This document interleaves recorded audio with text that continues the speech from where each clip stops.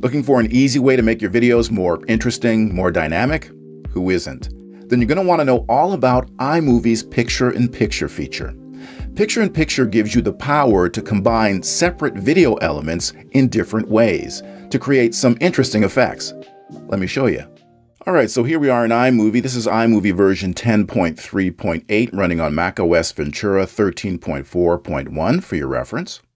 And I have this project open with this on-camera video clip on the timeline. I've got this iMovie logo in the browser that I want to add to this shot. I'd like the logo to appear on screen over my shoulder, like you see in so many news shows. To do that, I'm going to use iMovie's Picture in Picture feature. So I'll start by clicking and dragging the iMovie graphic to the timeline and putting it on top of my on-camera clip. The graphic is filling the screen and it has this little zoom animation on it. To get rid of the zoom animation, I'll go up to the toolbar above the viewer and you can see the cropping button is active, which tells me there's some kind of cropping effect on the graphic. So I'm going to select the cropping button and the crop settings appear. And you can see beside style that the Ken Burns button is turned on. I don't want that. So I'll switch the crop style to fit and click on the blue check mark to lock in my change. And that gets rid of that little zoom. Now, if you don't want to have to remove that zoom every time you add an image to your timeline, go up to iMovie's top menu and select iMovie Settings. And in iMovie Preferences, Photo Placement, you can see by default it's set to Ken Burns, which means every image or graphic you bring in will have the Ken Burns effect applied to it. Now, if you don't want that, click on that menu and switch it to Fit or Crop to Fill. All right, back to our regularly scheduled programming. With the graphic selected, I'll go up to the toolbar above the viewer and click on this first button here. This opens up the video overlay settings. This graphic is on top of the main timeline, which makes it an overlay. And if we look to the left in the settings, we see that this graphic is set to cutaway mode, which means it's just going to sit on top of the main timeline full screen as is. I'll select the button that says Cutaway. And from the Settings menu, I'm going to switch the graphic clip to Picture in Picture. And my clip changes from full screen to this scaled down inset version. This clip is now in Picture in Picture mode. So I can position it where I want by just clicking and dragging on it in the viewer.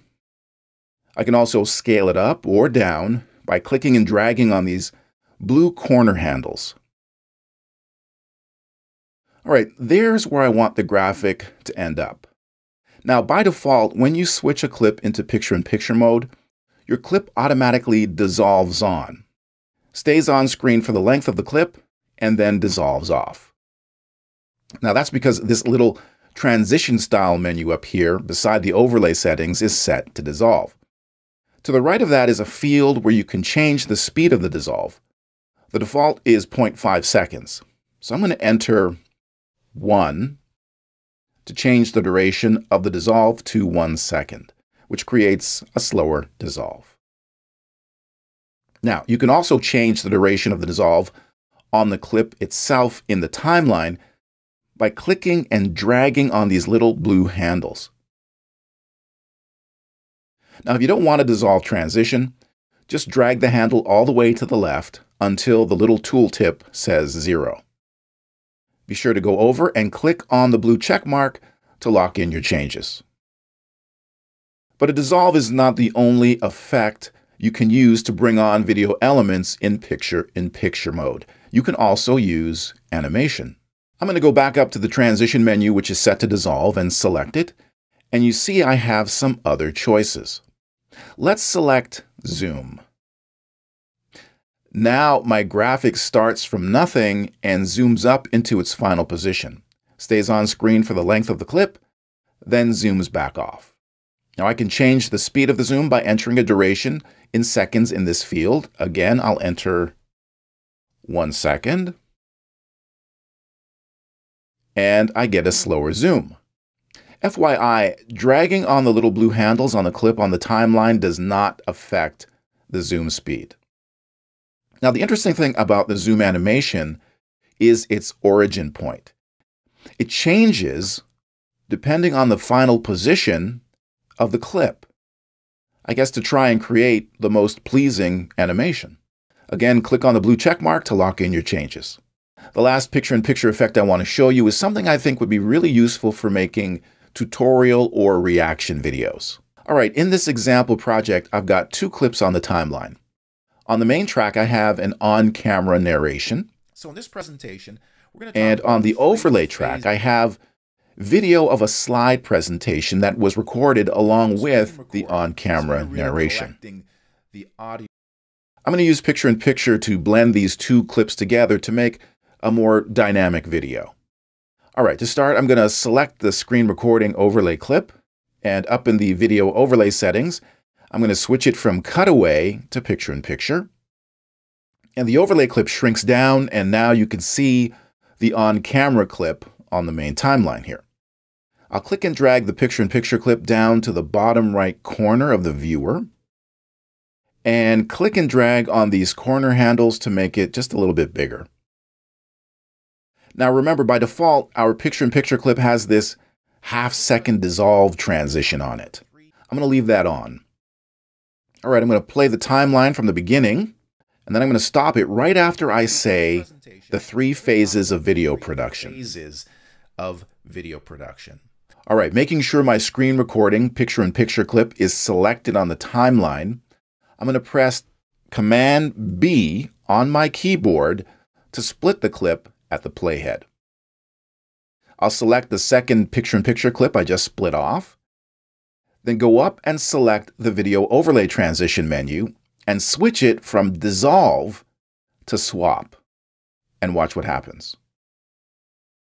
So in this presentation, we're going to talk about the three phases of video production. The first phase is The picture-in-picture -picture overlay, my presentation, swaps places with the clip on the main timeline, my on-camera. Now right now, the swap is happening instantaneously, so it looks like a cut edit. We can change that. Back up to the Video Overlay Transition menu, and beside the swap setting, there is a field where you can change how fast the swap happens in seconds. I'm going to change this to one second and hit return. Let's play back to see what happens. So in this presentation, we're going to talk about the three phases of video production. The first phase is pre-production. Instead of happening instantaneously, the swap happens more gradually, creating a zoom animation. Very slick. And if we go down to the end of the timeline and play back, basic phases of video production. The swap reverses the clips and my on-camera goes full screen again. Video. I'm going to shorten the overlay clip a little bit just to make the swap happen a little sooner. Phases of video production. There, I like that timing better. Remember to click on the blue check mark to lock in your changes. Those are just the basics when it comes to the kinds of effects you can create with picture-in-picture in iMovie. There's a lot of useful functionality in there if you know how to use it, so experiment with it. And if you're looking for another example of iMovie's hidden but incredibly useful functionality, have a look at this video.